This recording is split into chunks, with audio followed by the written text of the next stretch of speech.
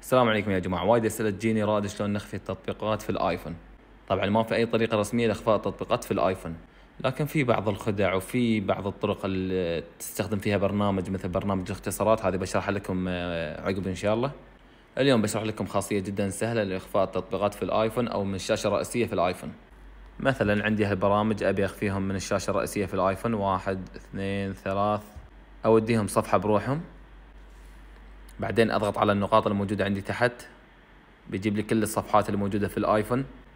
اشيل التحديد من الصفحة اللي فيها البرامج اللي أبي أخفيهم. أنا حطيت الثلاث برامج بهالصفحة آخر واحدة يمين تحت.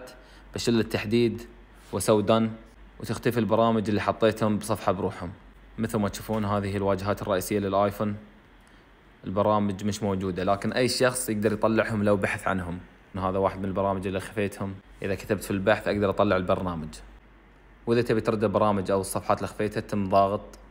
بعدين تضغط على النقاط اللي تحت وتفعل التحديد. دان مرة ثانية. هذه هي البرامج اللي اخفيناها طبعا هي الطريقة بشكل عام فعالة يعني. مستحيل يجيك شخص يبحث عن كل البرامج الموجودة في الآيفون. فإذا في برنامج في لعبة تبي تخفيها تقدر تستخدم هالطريقة. وبس والله.